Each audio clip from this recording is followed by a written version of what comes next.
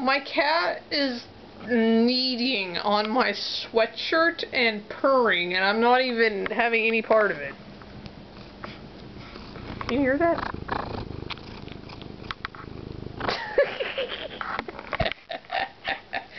oh, Jesus Christ Superstar.